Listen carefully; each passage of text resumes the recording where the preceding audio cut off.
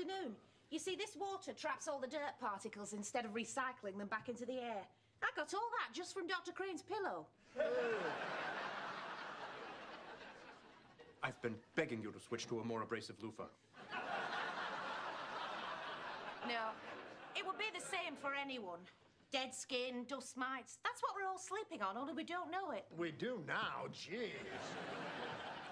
This is the chance I've been waiting for.